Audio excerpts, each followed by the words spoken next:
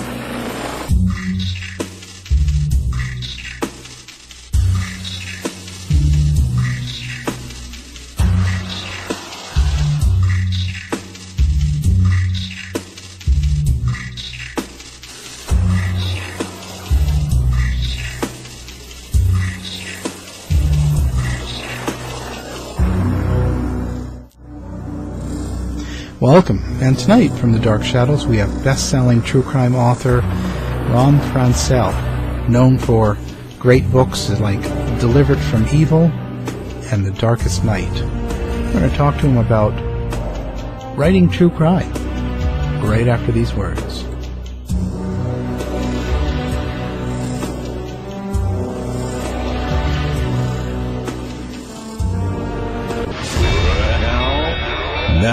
For the House of Mystery Case Files. A maddened former Marine, a 24-year-old student in the architectural school named Charles Whitman, first killed his wife and mother in their home. Then he fled to the top of the University Tower, a 27-story building, and from there shot to death at least 13 other people and wounded at least 31. The carnage did not end until police ended Whitman's life with several bullets. These images are more of war than of a small fast food restaurant in San Ysidro. Yet it was a local man dressed in battle fatigues who declared, I have killed a thousand, I'm gonna kill a thousand more. Other guests flee to the balconies, trapped between flames and bullets. A terrified black maid is told, don't worry, we're only shooting whites today.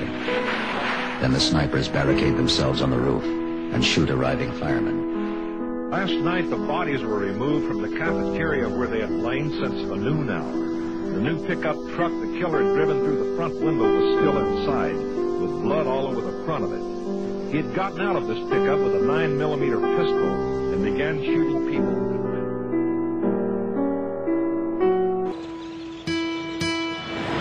That tower has haunted Austin, Texas for more than 40 years. It reminds us that we know plenty about mass murderers, but also that we still haven't developed any science that would foil a murderous rampage that's hatched inside a maniac's head and leaves no trail until it's too late. So, sadly, we'll always have victims and survivors about whom we can predict even less. That's because they're the rest of us. I spent a year with the survivors of mass murderers and serial killers. This book is their story. These 10 stories explore the moment when these survivors and their killers cross paths. But they also explore how they've coped with the pain over the years and what the ripple effect has been for them. Each is as much about surviving life as it is about surviving the tragedies themselves. These ten survivors all came within a whisper of dying, even as people were dying all around them. Yet each understands that without forgiveness, they rot from the inside out. They don't excuse the behavior of monsters, nor do they deny their own pain. But they refuse to let the monsters darken the rest of their lives. And all of them feel some debt to the dead. Each is aware that to squander this gift, this second life, is to betray what so many others lost. Right here on a summer day in 1966, a college student named Roland Ehlke was shot by Charles Whitman from that tower. He didn't die that day, although he had one friend who did. Instead, the bullets that hit Roland Ehlke changed the course of his life forever. He survived his wounds, and he became a minister, a professor, and a father. This book is about the capacity of the human spirit to triumph over monsters. Distilling all of this into words and putting them between the covers of a book seems somehow inadequate to me. I'm not even sure exactly how to tell the complete story of what happened or what might be happening still. Or to explain what it feels like to owe a debt to the dead. But I know this. It's spots like this one. It's places just like this. This is where their stories begin. Now here's something we hope you'll really like. And we're back. Joining us, Ron Franscell. Uh, thank you for taking time to talk to us today. Al, it's my pleasure. I'm I'm just delighted to be with you. Oh, thank you. So um, now, now you've you've done several books, great books. Um, uh, now, did you um, I, I, did you start out as a true crime writer, or was there something else that came before that? Well, I in my book writing career, uh, I, w- I wrote a, a literary novel. Was my first book out of the box. Uh, I wrote a couple of of mysteries after that. Um, but in my professional career, normally a uh, newspaper reporter and editor. And at the time, uh, The Darkest Night sort of came to me as an idea. I was uh, covering the Middle East uh, for the Denver Post in the in those really turbulent, scary days right after 9/11, and it was coming back from the Middle East when I was done and when I was tired and I was I, I was probably susceptible to to some of those things that your brain does when you're not on guard. That I I saw I began to see this crime against two young friends of mine in 1973, two girls that lived next door to me. I began to see that as um, an, uh, much like what we had gone through after 9/11, where we went to bed on on the uh, on September 10th, and before we woke up again on September 12th, the world had changed, and this case that I write about in The Darkest Night is like that. We went to bed uh, as this marvelous little ideal little American town on September 23rd of 1973. But by the time we went to bed the next night, our town had changed completely. That wasn't unique to my town, of course. We all go through some some rite of passage like that, some loss of innocence. All of us do. But this is this was a story about when it happened to me and to the people who lived around me. And so in that sense, wasn't really writing a true crime. I didn't approach it as a true crime. I approached it as a true story that happened to be about a crime, but I really wanted to get more into uh, the social study of it to to dissect this crime and ultimately, I guess, to explore the nature of memory in a small town. Hmm. So, when you say you're you're dissecting and, and trying to get that, uh, how did you go about doing that? Well, I did it the way a journalist would. You know, you you go out there and you just wade around in it. Now, in my day, I'm not that old, but I'm older than than the current crop of journalists. uh, in my day, you did that by getting your boots on the ground and going where it happened, so you could see, so you could smell, so you could taste everything that that uh, everything that you needed to uh, to tell the story and and that's exactly what happened. I went back to my hometown in Wyoming. I I began to peel that onion. You know, I began to to to to get all the documentation, to get all the pictures, to go to all the places, to talk to the people, and and to begin to reconstruct a story around which a certain mythology had grown over 30 years, and uh, some of that mythology truly was mythical. It was it it it had grown out of proportion to reality.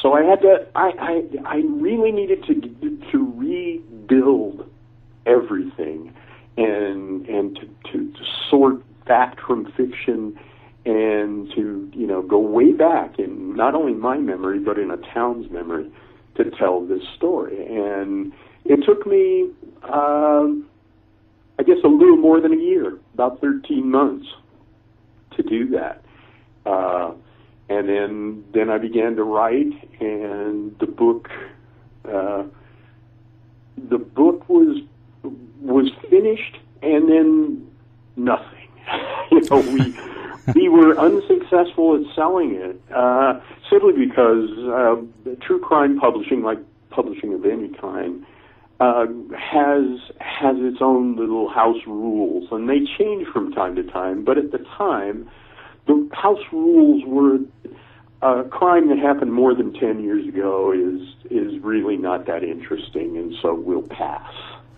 And that's one reason we had a difficult time selling it we finally did sell it to a small publisher um, uh, who almost immediately turned around and sold the paperback rights to St. Martin's Press in New York. And the book, when it finally came out, uh, became a, a national bestseller, and uh, you know the rest is history. What, what do you think? Um, it, it became a national bestseller. Why did it take off? Do you think like that? Like, what was it about this story or this this this book that you did that made made it take off? Do you have an idea on that?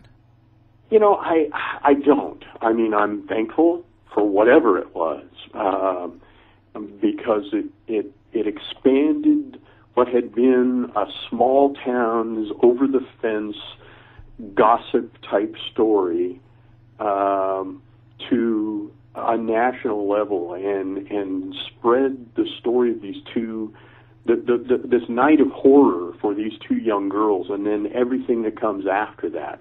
Every horrible thing that comes after that.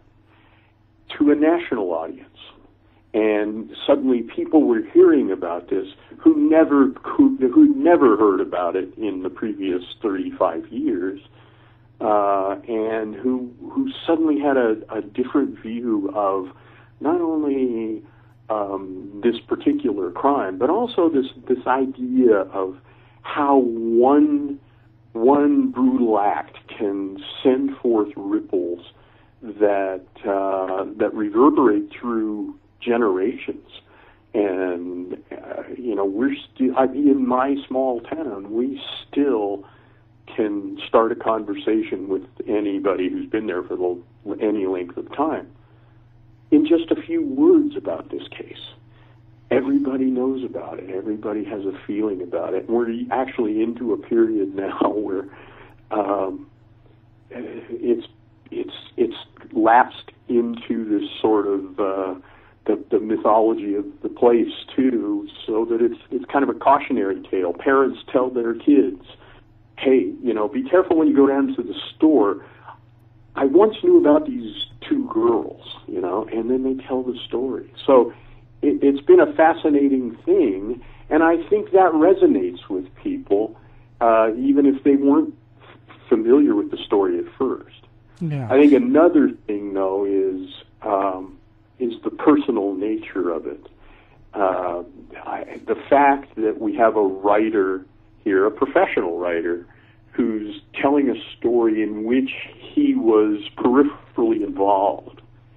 Uh, and my involvement was purely as a another kid, the, the kid that lived next door, literally, um, who was affected by this crime.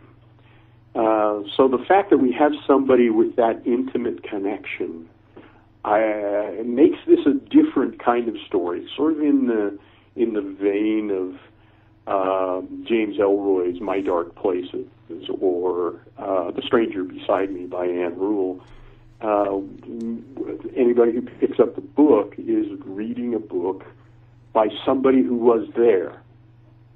or at least close. And I think that that seems to resonate with readers. Yeah, I, you know, you've got to realize it is something special you've done, but um, because it's not about a major, it's not like a Ted Bundy or a Zodiac or something that's a major killing like serial that there's been movies and everything and years and years of it. So it's really touched a lot of people, you know. So it's a that's a special thing. I, I think it has, and and actually, you know, I think so many of the crimes we find ourselves writing about uh, are are things that we hadn't heard of before, certainly. But I think they they have this power to to to both frighten us and to sober us, but also maybe give us some tools for dealing with uh, a lot of difficulties we face in our lives. Uh, my, I think we might talk about my book, Delivered from Evil. There's a, an example of, you know, telling telling these horrific crime stories with a purpose. And when we can do that, uh, I think we transcend that that what I call the supermarket true crime, which tends to be um, more pulpy uh, and more more aimed at the people who want you know 16 pages of shocking photos and lurid descriptions and uh, recitations of the trial transcript. Uh, there, there, there is a, there's a part of the true crime market. That's what they want to read. But there's another part of the true crime market, and I think it was it was really Truman Capote who breathed life into these people, and that's the more literary, more analytical, um, the the the the crime story that kind of holds a mirror up to us and shows us ourselves and and really ends up being about us. And I think this, these little these stories, like The Darkest Night, uh, are are where that gets the most traction. I think because they are us, and, and uh, it, it is it is easier, I think, for the reader then to see him or herself in these two girls. And I think also the timing. Um, one thing about 1973, if if we go back to the time, mm-hmm. uh, it, it, was it was um, I don't want to. I guess it's a lot more naive. Um, I, I don't I don't think the parents. I remember I was 11 years old.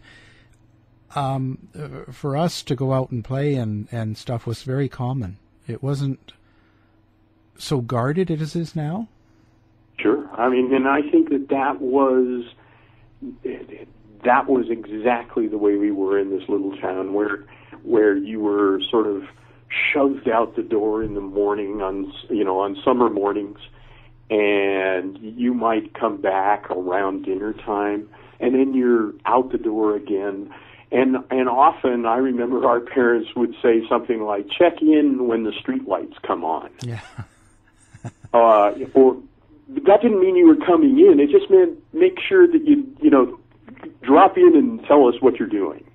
Um, and playing, you know, riding your bike for miles in every direction, and uh, you know, very clear memories of riding my bikes on my my neighborhood streets and and hearing the people inside the houses. They've got their windows open and their their their curtains pulled back, and I could see them in there. I, you know, we had this this extraordinary glimpse into other lives, and we felt part of them in in a sense. And so we were free. We were completely free, and that's not to say there weren't any rules, but uh, we were completely free. And yet, uh, when this event happens and two girls are are snatched basically in a uh, grocery store parking lot by two local thugs and then terrorized through the night and brutalized, taken to a bridge out in the middle of nowhere, and that means something in Wyoming. to say the middle of nowhere. Yeah. Um, and they're thrown off this bridge, 12 stories into a canyon, 12 stories deep, uh, and a river below. And one of them dies, and one of them doesn't. Story gets uh, provocative from there, but what happened was that that ideal world, that that that utopia that we imagined, quickly changed.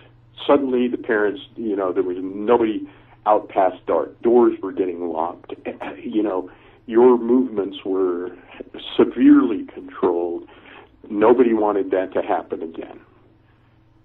And we saw that after 9/11, didn't we? I mean, yeah. think oh, about um, how uh, suddenly after 9/11 we we have a whole new set of rules that we have to live by, and we're suddenly afraid of shadows again.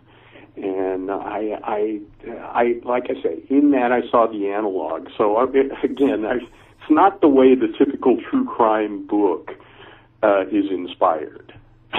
so it, it came from a little different angle, but it is a true crime. There's no question about that. It just didn't start that way. So now, now when you went back to um, start putting together the the research for the book, it says now you've done more than hundred interviews. Um, that's a lot of people in a small town. Yeah. How how was the reaction? Like how how were people about this? Like did they were they very open to the idea and did they want to talk or did they want to forget? Sometimes they you know they, they they're all over the lot. Uh, they they there wasn't nobody who who just said, "Oh, let let the sleeping dogs lie. Don't do anything." Um, there were people who, you know, confessed they didn't recall much, or there were people who recalled a lot, but it was wrong. Uh, and the, the, but that was all part of the story too. Again, how this story had taken on a different kind of of legendary life in in this town.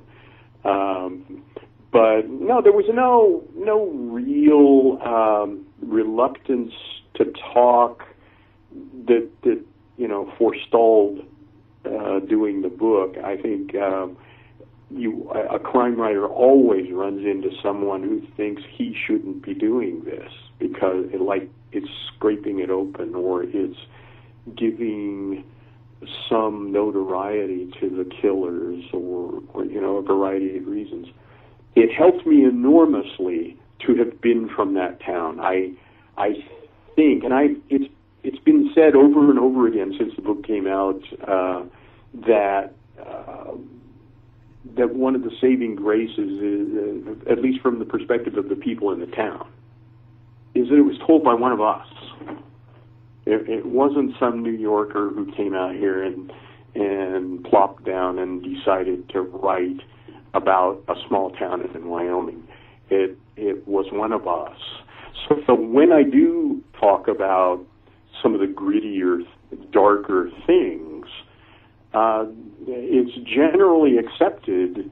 Uh, it's generally embraced. It's generally at least uh, given a pass uh, because I was from there. So I think that helped enormously. Yeah. Oh, it must have. Now, with the Becky Thomson. Now, were you able to talk to her?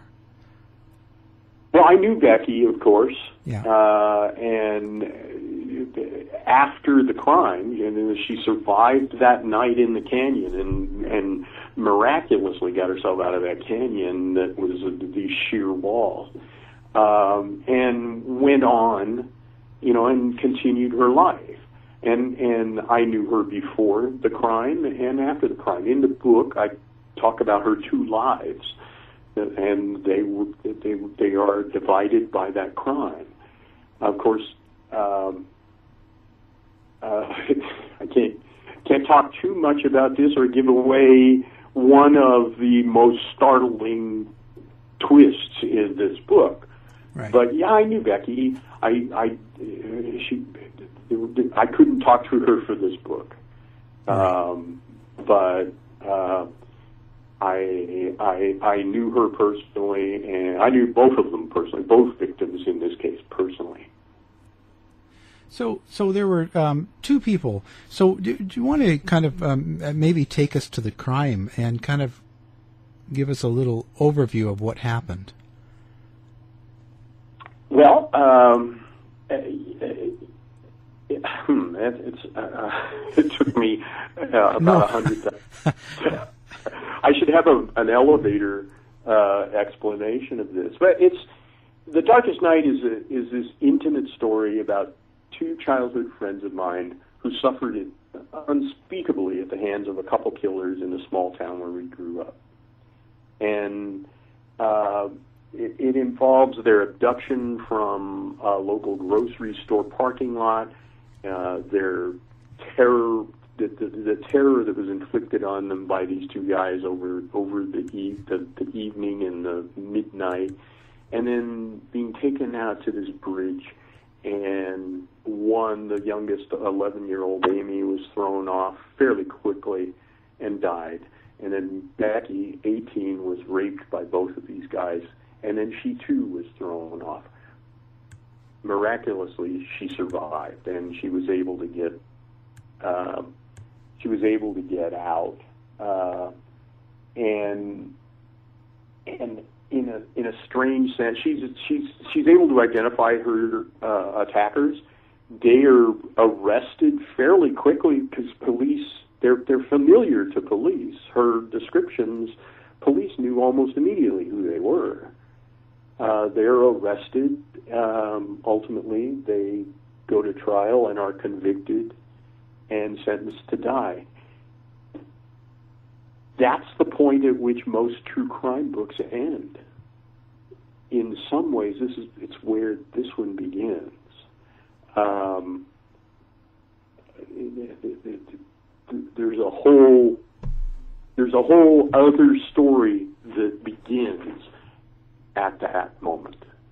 And it has to do with both our, our national ambivalence about the death penalty.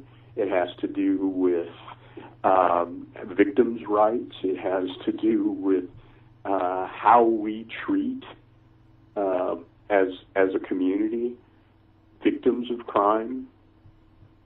It's it, and and it goes into you know it, it goes into great detail about all of that. So I I would think that at its heart, The Darkest Night is about one woman's search for equilibrium. She wanted to put solid ground beneath her again, uh, and she might never have found those answers for herself, but her search sort of leads the rest of us to some answers. I, I think that the process of, me, of, of, of writing this book convinced me that evil is all around us, and we, we simply can't avoid it. And think about that not only in terms of a crime like this, but in terms of terrorism. Um, I, I think uh, I, I think a life in journalism and this experience convinced me there's really no genuinely safe place in this world. Uh, but it hasn't made me fearful about living life. It's it's just made me understand how important it is to live. You know, as somebody said, some people are so worried about dying that they never start living. I think that this book is is an outstanding example of of the perils of not living. So uh, that's a that's a kind of airy fairy explanation, but it, to me, this story existed on this gritty, real level, and then on this this much more philosophical level. And do you think the system's changed since then, since 1973? Do you think, like for victims and uh, and uh, the whole process of the death penalty and the way everything goes, Do you think it's changed for the better? I think in some ways we've we've we're doing better for victims. You know, back in 1973, there weren't teddy bear memorials, there weren't scholarship funds, there weren't uh, outpourings of support. There certainly wasn't social media. Uh, murder and rape and and violent death were like cancer, right? We we spoke about it in hushed terms. We we couldn't say it out loud, you know. Uh, a little 11 year old Amy's funeral uh, was purposely scheduled during the school day so the kids wouldn't go. But for the most part, parents weren't going to let them go anyway because that was the time. They, they, they, they, there was a belief we don't expose children to that.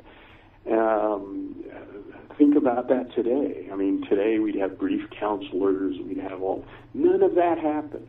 So I think we're better in dealing with victims today. Not perfect, but better. Hmm. Uh, as far as the death penalty is concerned, uh, those those arguments are still going on. Uh, the things that happen uh, to people um, in the system can still be um, seem unjust, both to people like us and to people who um, who are against the death penalty and who who who you know who want something else to happen. And we, we've just never settled it. I mean, everybody's kind of angry about it. So no, in in terms of punishment, no, I don't think we have. In terms of victims, I think we've we've sort of improved how we deal with. Um, I think we sort of we, we do we have improved. I'll, I'll just leave it at that. Uh, I think we have a ways to go. Yeah. Now, now, also, now when we go into your "Delivered from Evil" book, you also do true stories of ordinary people, and they're kind of faced with something, and they survive. So, I guess my thought is now you you like to write the stories from the victim's point of view. Uh, yes and no. I mean, I'm I'm not really writing from their perspective, but I'm writing with their perspective front and center. I'm writing. I I, I want to tell the story of those people who didn't choose to be in the situation they're in, who who now have to deal with it.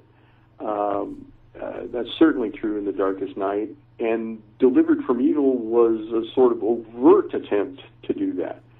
Delivered from Evil is a book about 10 survivors of mass killers. These are just ordinary people like any of us on any street on any given day in America that found themselves suddenly face to face with either a mass murderer or a serial killer and by the grace of God survived. The book explores how these two paths converged and what happens next.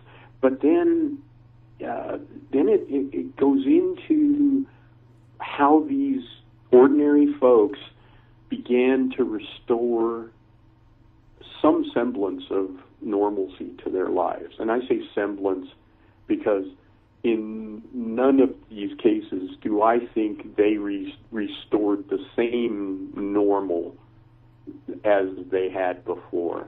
They're just they just restored something that looks like normal, feels like normal, uh, and that they can live with. And so it's uh, it was fascinating to do because I spent in in in these t- with these 10 people, I spent two weeks with each one of them, up to two weeks with each one of them.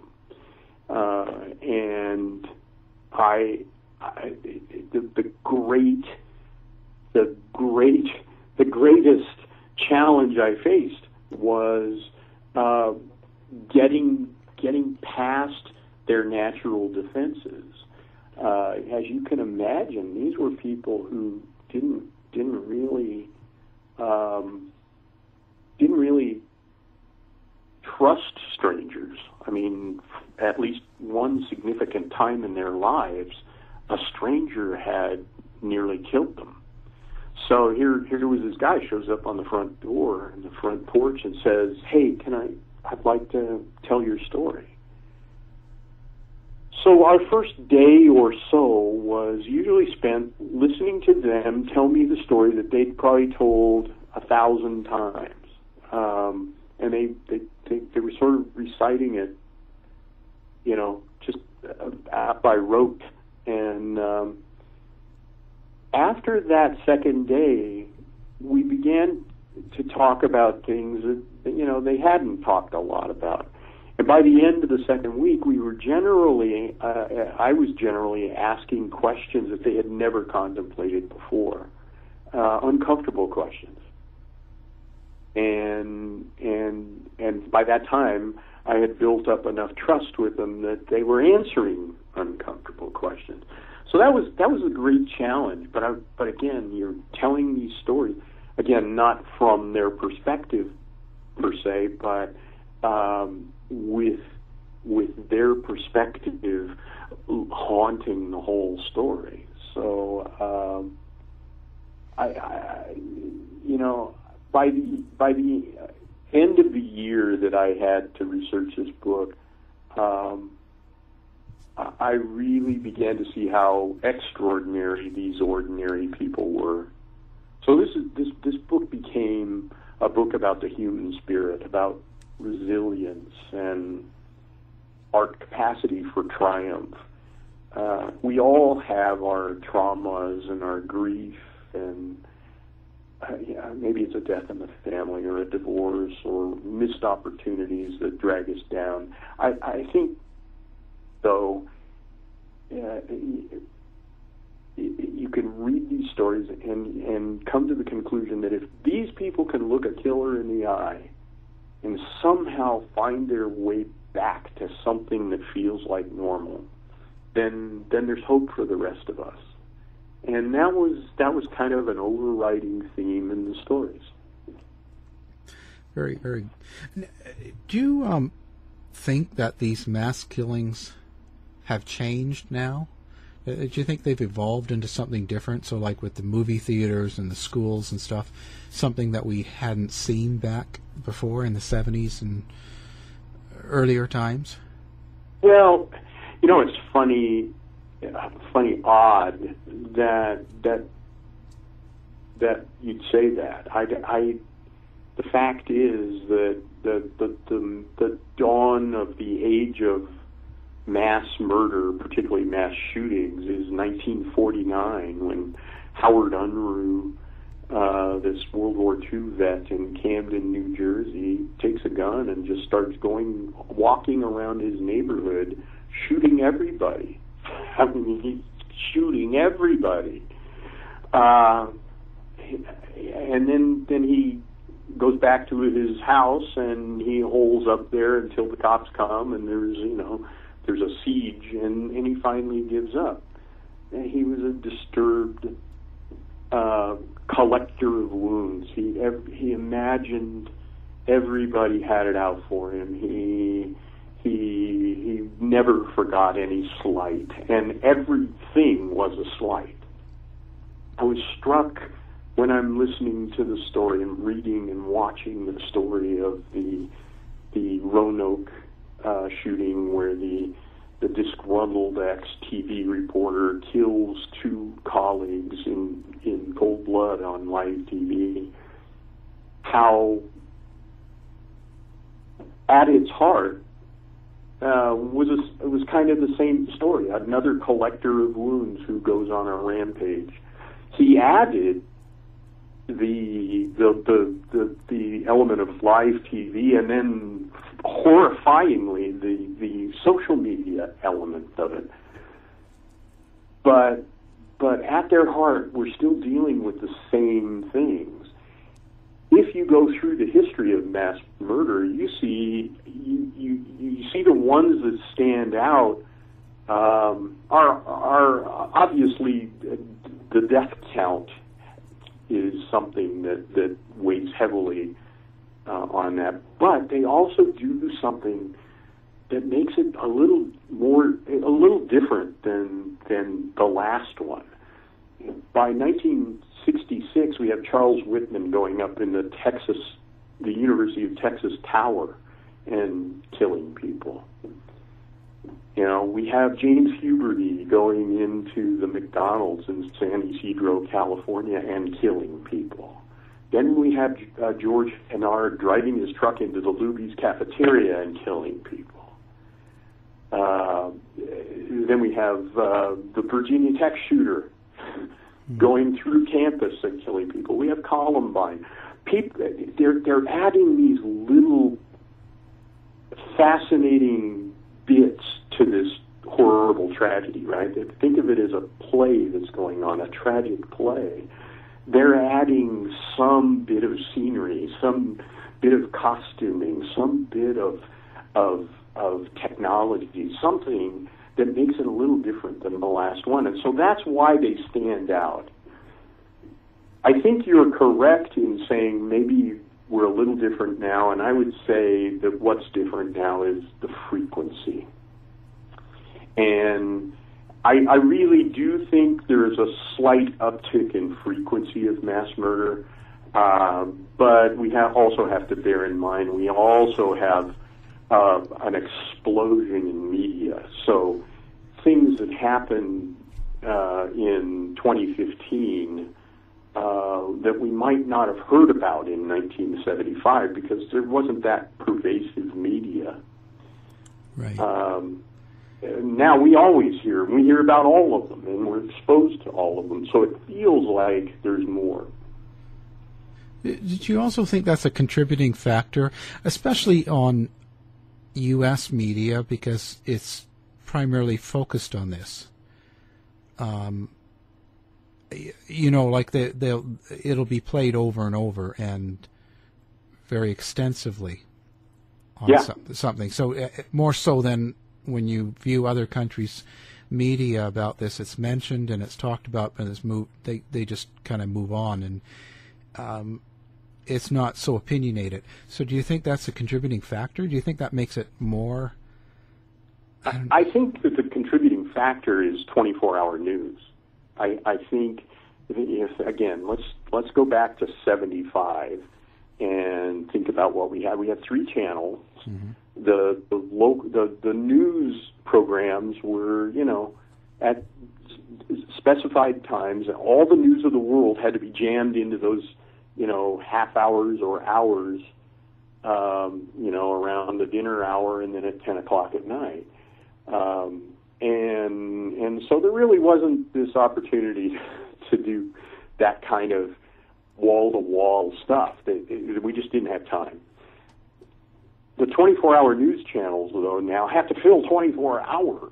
Yeah. So any event, if it's if it's otherwise a slow news day, and and a guy picks up a gun and goes into a theater and and shoots, um, this is going to probably play for at least 24 hours. It's going to be the lead story for 24 hours, and you're going to see the same 27 second loop of video from outside the theater uh, over and over and over and over again. So uh, we, we're we're being barraged by it in this sort of we're, we're being overcome by a tsunami of information that isn't that much information generally. You know, they're just repeating it over and over. So I think there's that. I think there's a certain information anxiety that we all have. But I do think that that that mediascape is is affecting um, affecting those who would do this, and I, I I think in the Virginia case we we see a guy who seemed very intent on using the mediascape to to uh, um, as a part of his his crime. So I, I that worries me. It worries me to think that we're going to now see people using Twitter and YouTube and Facebook to commit horrendous crimes and then and then spread it to the world. Yeah. Uh, the old gatekeepers have lost control of the gate. Yeah. Well, it seemed to be a big. Uh, it's a step to basically uh, film it yourself and post it on your own Facebook. Yep, That's- absolutely. That that that's also. I mean, the last time it reminded me of the Luka Magnotta murders. You know, of like or like when he, if you remember him in Montreal when he filmed, be you know the beheading and having sex and that with this victim, and and uh, posting it online. Mhm, mhm. Um, it was just I, he would have done it live, but they didn't have the technology at the time. Right, so so it's it's kind of like a progression now. So we can just uh, do it much quicker now. Well, we see ISIS, of course, doing it, and we've seen various punks, you know, videotaping beating up a bum or beating up, uh, you know, uh, uh, an elderly lady or uh, doing something they shouldn't and posting it and getting caught. But this seems like a deliberate, um, in in the sense that it's deliberate too with ISIS. Uh, this seems like a very deliberate intent to to to use social media to to heighten the impact of the crime, and I fear that that we've crossed the Rubicon on this. I fear that that that this is going to be a thing now. This is going to be what a lot of um, uh, criminals uh, will do, and there might even be a little arms race that goes on to see who can do it bigger and badder. And I hope I'm wrong, but I I fear that knowing what I know from you know 35 years of journalism experience and crime writing, um, I fear we're in for uh, we that we haven't yet seen the worst of of those kinds of of acts using social media. Yeah, I think you're right, and I think it's also a feed for it because uh, uh, you know a lot of people are still attracted to watch it. Absolutely. I mean, you know, I don't know how many views that that video had before it was taken down by YouTube. Um, my guess is probably it probably approached a million. So for everybody who says, "Oh my God, I don't want to see that," and they look away, there's there there's maybe one or two who say, "Well, I do want to see it." And and you know, as a crime writer, there's I have a professional interest in this. I do want to see it. I don't I don't relish the idea of seeing it. I I I, I my stomach is turned by it. But if you expect me to tell a story, uh, especially a true story, you know, an authentic story, a genuine story, then I think you deserve to know that I saw it. And even though I'm not going to be writing about the Roanoke, uh, I, I think I, I, this this notion began to develop in me when I was uh, covering the Middle East, and Danny Pearl was abducted and beheaded. It became important to me to watch that video, and I did one time. That's all I needed. Uh, to understand the people I was writing about, to understand the issues, uh, and to feel not in my head, but in my gut what this was about. And as a crime writer, I'm trying to make you feel in your gut what this story's about. I don't. I want you to read it. I want you to think about it. I want it to affect your your your thoughts but I also want to hit you in the gut and have you get a sense for this on on a much more visceral, um, much more primitive level. And now that said, I, I don't tend to be the kind of grisly writer who exploits every drop of blood. That that's not my interest. I'm talking about some of the horror um, that these two girls might have felt that night for instance, or the horror of of somebody who's confronted by a serial killer in her own home.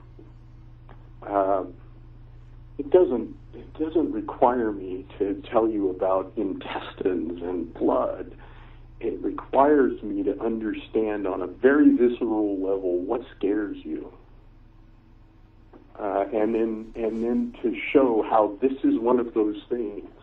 So yeah, I think you know there's there's the storyteller in me, but then there's the human, and as a human, I, I I'm a little fearful for where we're going. Uh, the storyteller in me follows suit, but uh, I, I have this belief. I guess it's my journalism uh, that that says by talking about it, by telling you the story, somehow we'll be better. You know, um, I, I think um, I, I, I think there's some kind of value um, to to to to understanding what happened and and and how it happened, and at least having the facts available. You might want to look away. I understand that, but uh, um, uh, I, I my job isn't isn't to hide anything from you, but to find a way to make you feel what happened. And and and you do. And um, now, on previous shows, we've had a lot of writers on, and I always ask them if there's writers that influence them or people that they read and uh, anybody out there that they think is excellent at writing. Now, your name came up a few times, and probably the most common, uh, uh, um, let's say, description of, of you is that you're a very descriptive writer. and uh, now, who who out there sort of um, you know maybe influences or, or, or perhaps you really like to read is there is there anybody out there that um, you can't wait till the book comes out you know I, i'm going to confess something to you and, and, and then i'm going to answer your question but first i'm going to a confession the fact is that since i started writing books almost 20 years ago um, very quickly after that, I stopped reading books for fun. I I haven't picked up a book for fun, for leisure, uh, in almost 20 years. Uh, I I lost my ability to read for fun. Uh, I began to look at books, and when I was feeling something, I, I wanted to see what they did. I wanted to see how they wrote that. How did they do that? How did they make me feel that? Pretty soon it became like a carpenter walking into a house, right? He can't appreciate this beautiful house. He's got to look and see how did they do that? And that's no fun. That's just not fun. Yeah. So I I stopped picking up books. I I I have not picked up a book for fun. Now, I'll answer your question. I have read for research, I have read for book reviews, and I typically read all my my uh, colleague, true crime colleagues' books. Uh, you know, either for them or because it's written by them, and that I'm not really reading for fun, but I'm reading because this is this is something I think we do in our our little small circle. And uh, there are so many of them. I think um, with the passing this summer of Vince Bugliosi and and Ann Rule, uh, I look around and I say, who who's likely to succeed to the throne of the reigning true crime writer? And I, I'm I believe that's probably Gregg Olsen, and I believe Gregg is one of the more graceful, uh, elegant writers in the genre. He's doing less true crime now, but but I still believe he's he's um, he's one of the best, if not the best. Uh, Steve Jackson is another, and and, uh, and Steve and I are friends going way back from Colorado, and I think that uh, Steve again is, is a more gritty, um, a, a, a grittier writer who knows story backwards and forwards, who understands these characters better than anybody in the world. Uh, if if I want to know about somebody, I think I'd go to Steve Jackson. He he immerses himself in characters. Um, I, you know, and then and there are a slew of others, and I'll get in trouble if I start naming and miss miss one. But among the ones that that I admire in crime, Steve and Gregg are honestly uh, Caitlin Rother is another who's who, who has always impressed me. Um, but where my when you talk about that that that the detail in the writing and the vividness of the words, uh, that doesn't come from crime writing. That comes from reading uh, people like Pat Conroy and John Irving and Ernest Hemingway and Jack Kerouac and and that uh, that ilk. It comes from a lifetime up to 20 years ago of reading classics and reading really good literature, not commercial literature. So I think the way I write is influenced by the way I read, and uh, I I love the classics. I love the, the the language. I love turning that all over, and and I keep going back to that idea of hitting you in the gut. I think we do that. I only I only get a, this little dab of ink on a pa- piece of paper to do that. I can't walk up to you and slug you in the gut.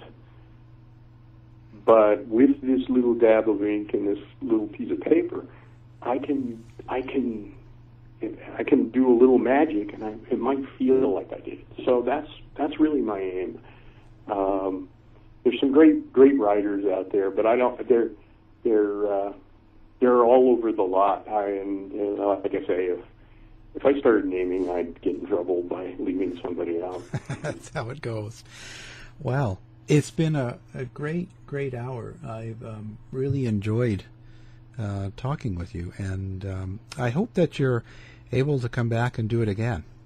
Well, I hope so. Call me up next year. We're coming out with a new book. Uh, it's called Morgue, and I wrote it with uh, one of the world's most celebrated medical examiners, Dr. Vincent DiMaio, and it looks at uh, 12 or 13 of his most fascinating cases from the exhumation of Lee Harvey Oswald to the suicide of of Vincent van Gogh to murder trial of Phil Spector and so many others. So uh, we've got plenty more to talk about. Wow, what an interesting life you lead. Um, that's fascinating.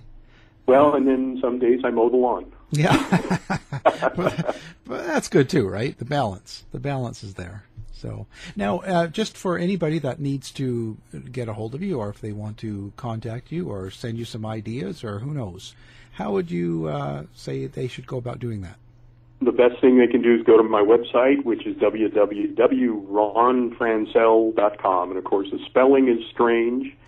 so it's R O N F R A N S C E L L dot com.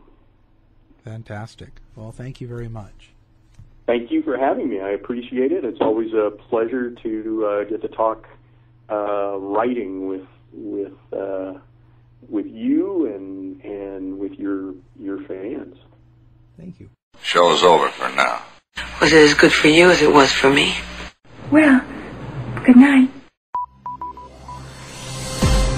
This has been a production of the Z Talk Radio Network. I'll be back.